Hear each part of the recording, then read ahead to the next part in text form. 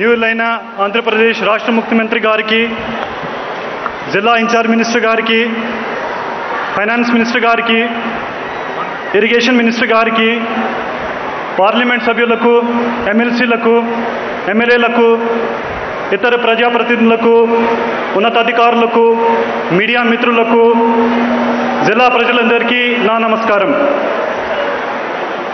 గౌరవ రాష్ట్ర ముఖ్యమంత్రి గారి నిర్ణయం మేరకు రెండు వేల ఇరవై రెండు ఏప్రిల్ నాలుగున నంద్యాల కొత్త జిల్లాగా ఏర్పాటైంది. అప్పటి నుండి నంద్యాల జిల్లా అన్ని రంగాల్లో అభివృద్ధి పనులు చేపట్టి వేగంగా పూర్తి చేయడం జరుగుతుంది. ప్రధానంగా వ్యవసాయ వైద్య విద్యా రంగాల్లో ప్రభుత్వం అనేక నూతన విధానాలను ప్రవేశపెట్టి విజయవంతంగా అమలు చేస్తోంది. ఇందులో భాగంగానే నేడు గౌరవ రాష్ట్ర ముఖ్యమంత్రి గారు నంద్యాల కర్నూలు జిల్లాలోని గ్రామాలకు డెబ్బై ఏడు చెరువుల ద్వారా త్రాగు సాగు నీరు అందించే పథకాన్ని ప్రారంభించారు.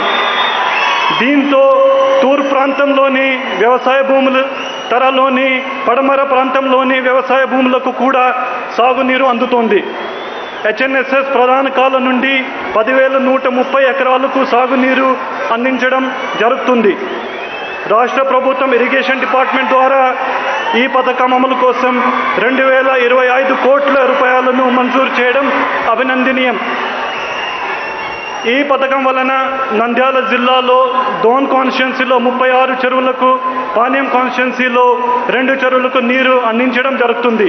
దానివల్ల యాభై ఏడు గ్రామాల ప్రజలకు త్రాగు సాగు నీరు సరఫరా చేయడం జరుగుతుంది. ఇది కాకుండా నంద్యాల జిల్లా జరిగిన నంద్యాల జిల్లాలో జరిగిన అభివృద్ధి గురించి చెప్పాలంటే నంద్యాల జిల్లాలో యాభై ఎకరాల్లో నాలుగు వందల డెబ్బై ఐదు కోట్ల రూపాయలతో కొత్త మెడికల్ కాలేజ్ని ఇటీవల గౌరవ ముఖ్యమంత్రి గారిచే ప్రారంభించాం.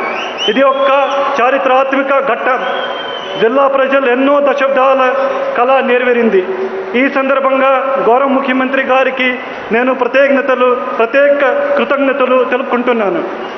అదేవిధంగా నంద్యాల జిల్లాలోని ఔక్ మరియు పాణ్యం మండలంలో గ్రీన్కో ఎనర్జీ కంపెనీ పద్నాలుగు వేల ఎనిమిది వందల యాభై కోట్ల రూపాయలు పెట్టుబడితో మూడు వేల మూడు వందల మెగావాట్స్ బేతంచెర్ల మండలంలో ఇకోరెన్ ఎనర్జీ ప్రైవేట్ లిమిటెడ్ పదకొండు వేల ఐదు వందల కోట్ల రూపాయల పెట్టుబడితో వెయ్యి మెగావాట్స్ సోలార్ మరియు విండ్ ప్రాజెక్టులకు శంకుస్థాపన చేయడం జరిగింది. దీని ద్వారా ఐదు వేల మూడు వందల మందికి ఉపాధి లభించడం జరుగుతుంది.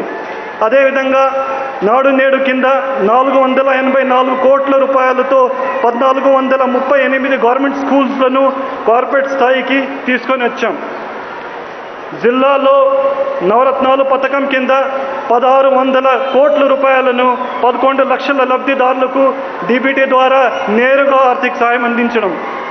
అలాగే రైతు భరోసా పథకం కింద గత నాలుగున్నర ఏళ్ళలో పన్నెండు వందల ఎనభై నాలుగు కోట్ల రూపాయలను నేరుగా రైతుల అకౌంట్స్లో ప్రభుత్వం జమ చేసింది.